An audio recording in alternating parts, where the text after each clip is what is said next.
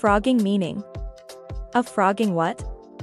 What we call a phrogging is when one person moves into another's house without their consent or knowledge. A phrog, or less often a phrogger, is a person who partakes in the activity of phrogging. On occasion, the phrog verb form is employed.